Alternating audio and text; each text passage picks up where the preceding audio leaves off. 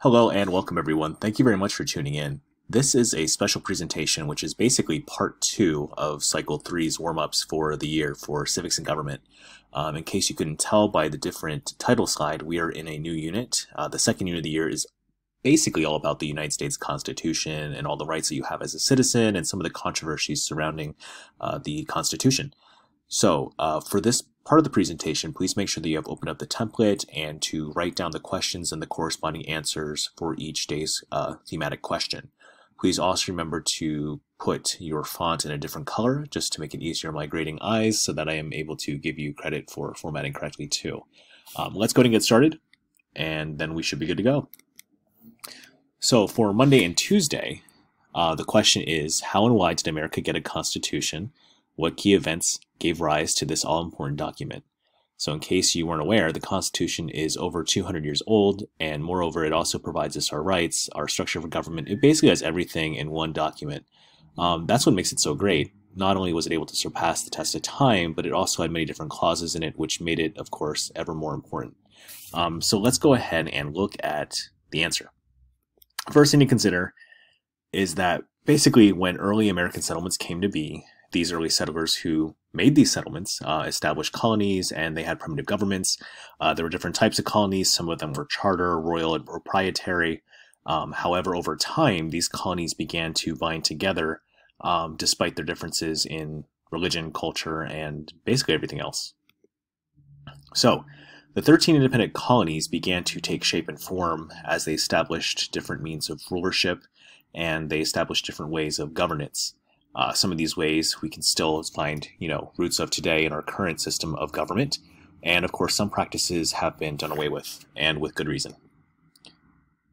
Changing principles of government over time uh, show us how different governmental structures, different notions of what it means to be free, and different takes on religion and trade uh, began to, of course, be seriously debated and implemented accordingly. So basically, what I mean by that is that as the colonies grew and developed, so too did our uh, notions of those uh, factors that I just mentioned to you. As time got closer to the Revolutionary War, the colonies declared independence from Great Britain and was ready to basically fight for their independence as well.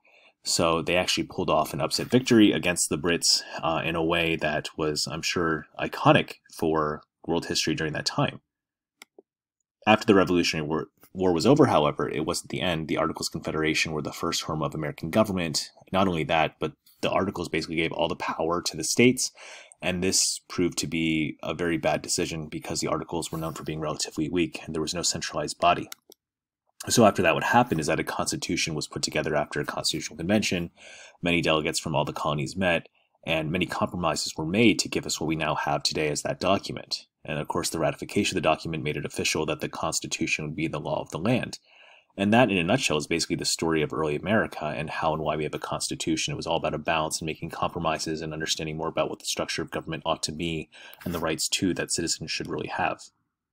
Let's go to Thursday and Friday now for this question of the day. Uh, what specific things does the Constitution actually do? And why do these provisions matter in the grand scheme of things today? Um, so, what I was alluding to before was that the Constitution has many different powers that show us and tell us what we value as a democracy. So we're going to look at some of these things right now.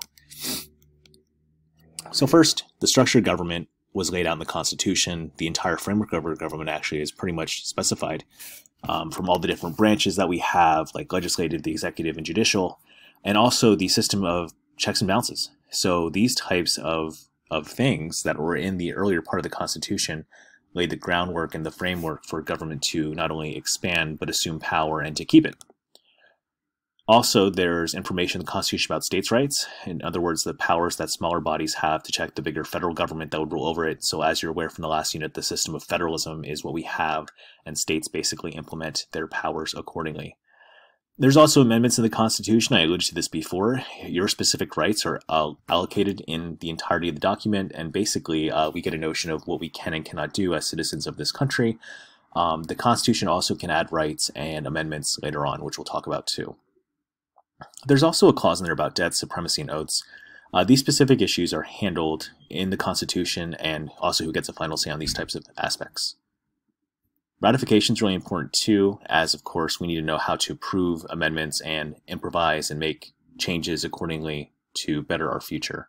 Um, in in this way, democracy is always dynamic, and so the Constitution allows us the chance to actually change the parts that we need to change for the betterment of our democracy.